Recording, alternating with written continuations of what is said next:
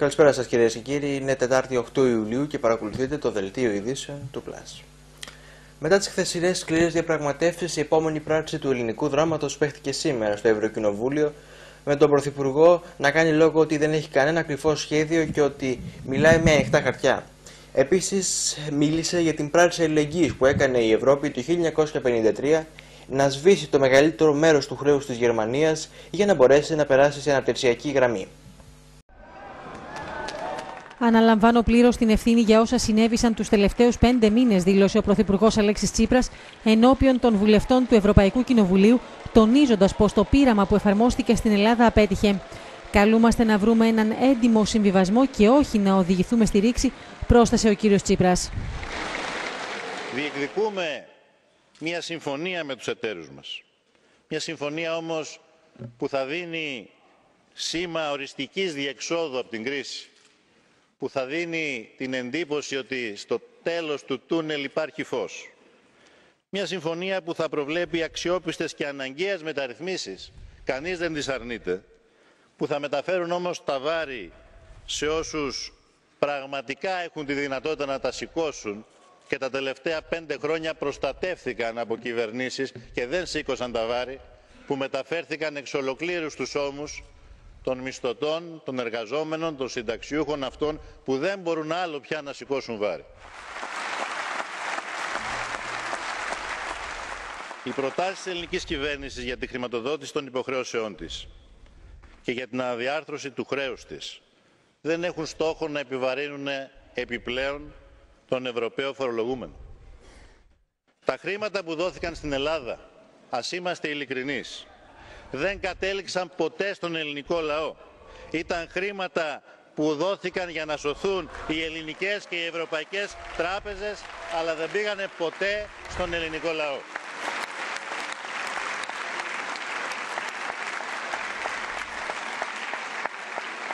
Σήμερα εμείς ερχόμαστε με την ισχυρή εντολή του ελληνικού λαού και με την αποφασιστική μας βούληση όχι να συγκρουστούμε με την Ευρώπη, αλλά να συγκρουστούμε με τα κατεστημένα στη χώρα μας και με τις κατεστημένες λογικές και νοοτροπίες που βήθησαν την Ελλάδα και βυθίζουν μαζί και την Ευρωζώνη.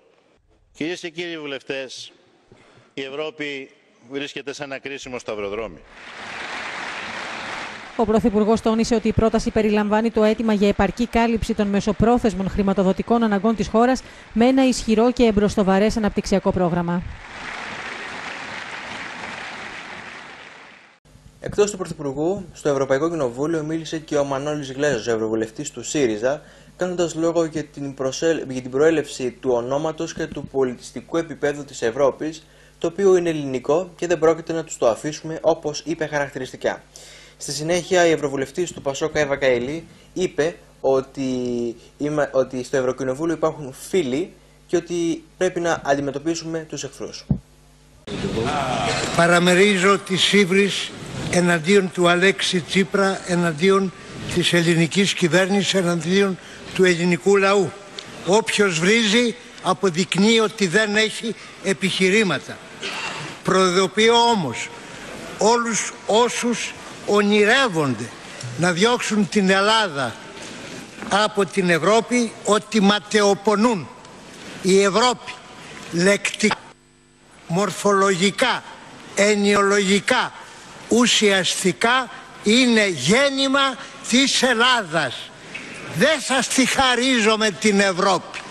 Δεν σας τη χαρίζω με την Ευρώπη. Διαπιστώνεται διαφωνία απόψεων. Εν θερμό δεν θα το λύσουμε. Χρειάζεται να περάσει λίγος καιρός ώστε εν ψυχρό να αντιμετωπίσουμε τη λύση.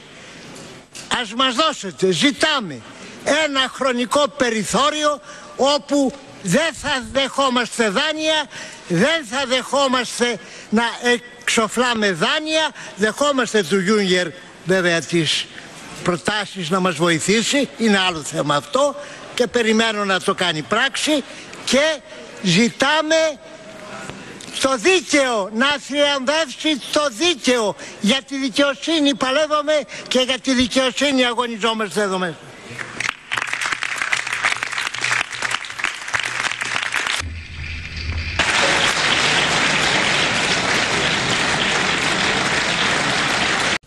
Να περάσουμε λοιπόν κυρίες και κύριοι στα δικά μας. Καθώς επίθεση σε τηλεοπτικό συνεργείο του Λεπάντο έγινε από 60χρονο πολίτη επειδή έπαιρναν συνεντεύξεις από συναλλασσόμενους με ADM.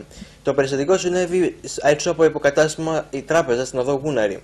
Ο 60χρονο πλησίασε στο συνεργείο τη στιγμή που μιλούσε με έναν συνταξιούχο και άρχισε να βρίζει εικονολήπτη και δημοσιογράφο. Θα πρέπει να σημειωθεί πως με αφορμή τα όσα έχουν γίνει με μέσα μαζικής ενημέρωσης της Αθήνας, έχει παρέμβει η Ένωση Συντακτών Ημερησίων Εφημερίδων η Πελοποννήσου Υπήρου Νήσων, διαχωρίζοντας τη θέση της και επισημένοντας πως οι δημοσιογράφοι της επαρχίας δεν έχουν καμία σχέση με όσα συνέβησαν με ορισμένα τηλεοπτικά κανάλια της πρωτεύουσας. Θα το βρω σε καμία άλλη τράπεζα να βγάζει 20 να πάρουμε τουλάχιστον τα 60. Γιατί πώς δεν βγάζει τώρα εδώ; Αλλά τελείως το δημοψήφισμα του ήταν εδώ. Και σκότε τον κόσμο, λαμόγια. Δημοσιογράφοι λαμόγια.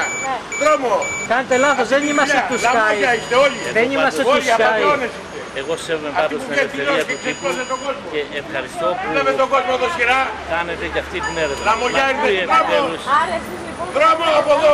Έλα, εντάξει Πάνε τώρα, εντάξει. λαμόγια. Τα είπατε κύριε, τα Εντάξει, είπατε. εντάξει. Τα είπατε. Λαμόγια. Δρόμο. Δρόμο από εδώ. Έλα, έλα, έλα, έλα. Εγώ Εντάξει, δρόμο. εντάξει, εντάξει τώρα, εντάξει. Δρόμο από εδώ. Δεν είμαστε τους Sky, Λαμόγια. ούτε του Μέγκα Μέγκα. είσαι κι εσύ. Εσύ ίδιος Ε, είσαι. τρέπεστε. Εντάξει, το είπες τώρα, εντάξει, εντάξει, πήγαινε τώρα. Μια τα ίδια είστε κι εσύ. Εντάξει, το είπες, έλα. Τι είπες; Έλα, έλα, έλα. Όλοι μαζί. Έλα. Εμείς το ίδιο. Τελείωνε. Έλα, έλα. Αν το πεις και να πεις ότι είμαστε εμείς λαμόγια, δεν μας τη χάρη. Ρε κάνε μας τη χάρη. Ρε κάνε μας τη χάρη. δίνετε σημασία, μην του δίνετε σημασία. Σε έβρισα εγώ, με ξέρεις. Ε, με ξέρεις. Με ξέρεις. Άντε ρε πήγα από εδώ ρε. Άστον μωρέ Ψωμί κομμόρι. τους βγάζουν οι άνθρωποι τα πριν από την Άντε πήγε. Με ξέρεις τι, με ξέρει. Σε έβρισα εγώ, σε έβρισα. Ξέρεις τι ψήφισα εγώ, ε. Ε, θα με πεις λαμόγια εσύ. Ρε κάνε μας τη χάρη ρε.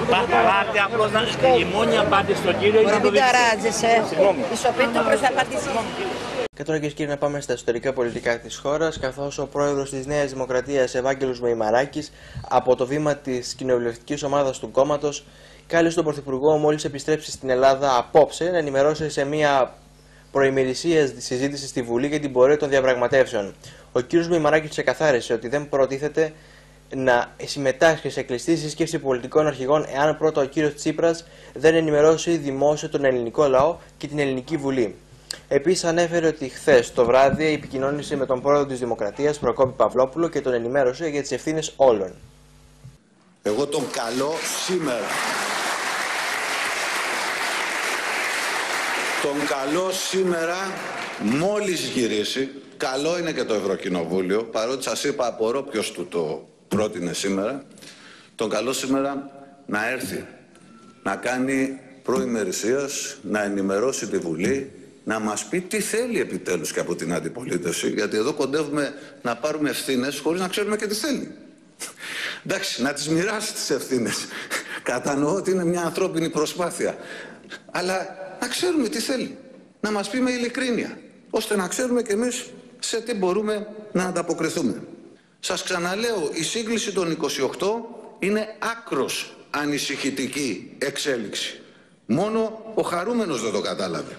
Και θέλω να σας πω ότι επειδή αυξήθηκαν οι ανησυχίες μου, αμέσως επικοινώνησα με τον πρόεδρο της Δημοκρατίας χθες το βράδυ.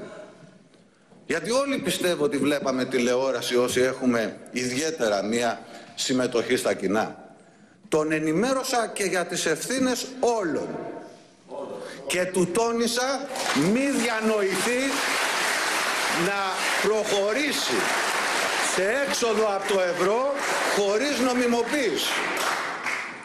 Και εκεί που μας ανανήσυχε βγήκε ο άλλος χαμογελαστός και μας είπε πόσο καλά πήγε η διαπραγμάτευση.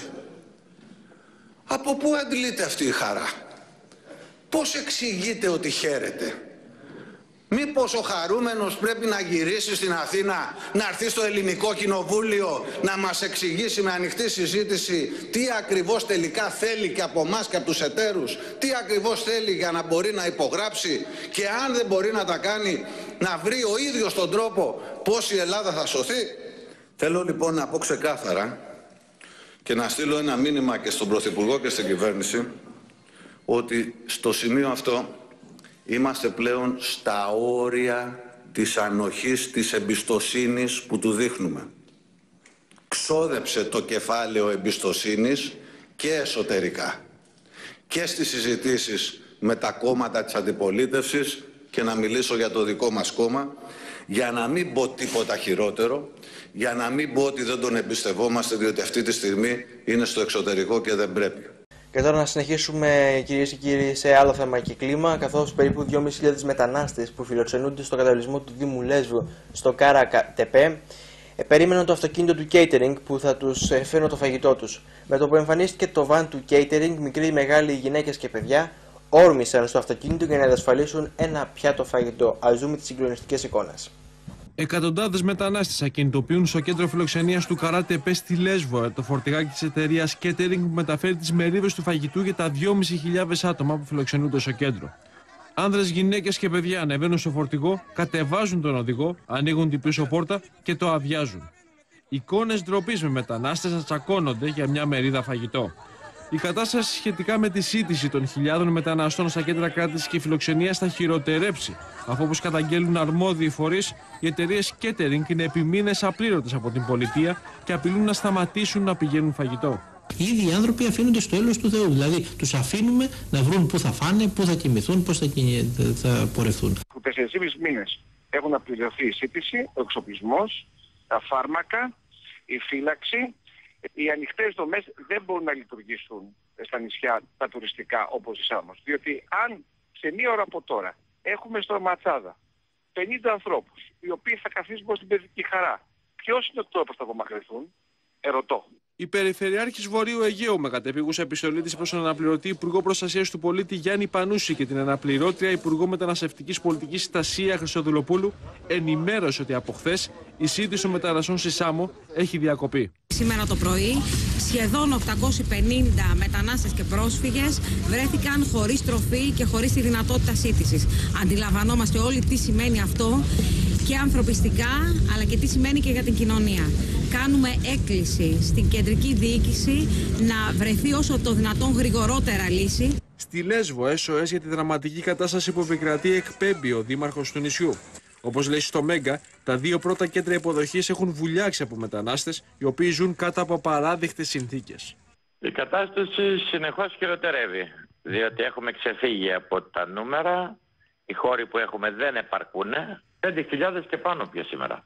Τώρα πια κοιμούνται κάτω, στριμωγμένες είναι οι σκηνές, έχουν, αγοράζουν και σκηνές και οι ίδιοι, βάζουν παραδίπλα, στριμώγνονται. Ε, είναι μια κατάσταση πολύ άσχημη. Μετά από επικοινωνία του Γενικού Γραμματέα του Υπουργείου Δημόσιας Τάξης με τον αναπληρωτή Υπουργό Οικονομικών Δημήτρη Μάρδα, εξασφαλίστηκαν 6 εκατομμύρια ευρώ από τον προπολογισμό του 2015 που θα αποδοθούν ξανά τον Νοέμβριο για να αντιμετωπιστεί το πρόβλημα με τη σύντηση των μεταναστών. 40.000 ευρώ θα διατεθούν άμεσα στα κέντρα πρώτης υποδοχής στη Λέσβο και την ΚΟ από την Τράπεζα της Ελλάδος. Ενώ η ελληνική αστυνομία θα στείλει 7 συνεργεία για την επιτάχυνση της ταυτοποίηση και έκδοση ταξιδιωτικών εγγράφων στη Μυτιλίνη σε μετανάστες. Τελικά παρατείνεται η τραπεζική αργία μέχρι και την ερχόμενη Παρασκευή με νέα υπουργική απόφαση. Δεν θα πραγματοποιηθεί η συνάντηση του αναπληρωτή Υπουργού Οικονομικών Δημήτρη Μάρδα με την επικεφαλής της Ένωσης Ελληνικών Τραπεζών Λούκα Κατσέλη και τους εκπροσώπους των εμπορικών τραπεζών. Πηγές προσκύμενες στον αναπληρωτή Υπουργό Οικονομίας δεν απέκλαινε η υπουργική απόφαση να περιλαμβάνει πρόσθετες ρυθμίσεις για τη λειτουργία των τραπεζών. Και τώρα για εκεί να, να επιστρέψουμε στα δικά μας και να δούμε το αστυνομικό δελτίο της ημέρας. Συνελήφθη εχθές το μεσημέρι σε χωριό της Γαστούνης από αστυνομικούς του Τμήματο 2 Ναρκωτικών της Υποδιεύθυνση Ασφαλείας Πύργου, ένας 24χρονο ημεδαπό σε βάρο του οποίου σχηματίστηκε δικογραφία για κατοχή ναρκωτικών ουσιών με σκοπό τη διακίνηση.